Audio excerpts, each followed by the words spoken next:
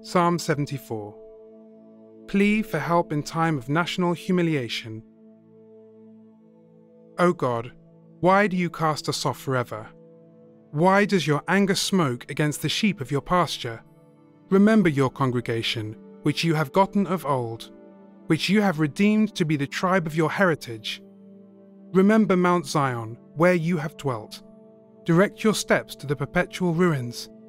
The enemy has destroyed everything in the sanctuary. Your foes have roared in the midst of your holy place.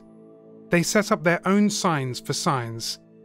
At the upper entrance, they hacked the wooden trellis with axes, and then all its carved wood they broke down with hatchets and hammers.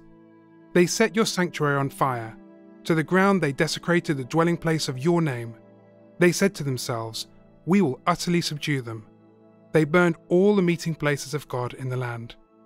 We do not see our signs. There is no longer any prophet, and there is none among us who knows how long. How long, O God, is the foe to scoff? Is the enemy to revile your name forever? Why do you hold back your hand? Why do you keep your right hand in your bosom? Yet God my King is from of old, working salvation in the midst of the earth. You divided the sea by your might. You broke the heads of the dragons on the waters. You crushed the heads of Leviathan. You gave him as food for the creatures of the wilderness. You cut open springs and brooks. You dried up ever flowing streams. Yours is the day, yours also the night.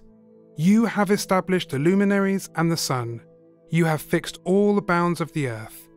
You have made summer and winter. Remember this, O Lord, how the enemy scoffs, and an impious people reviles your name. Do not deliver the soul of your dove to the wild beasts. Do not forget the souls of your poor forever.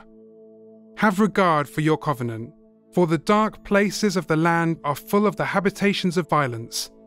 Let not the humble be put to shame. Let the poor and needy praise your name.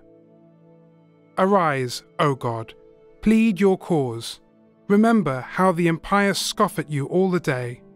Do not forget the clamour of your foes, the uproar of your adversaries, which goes up continually.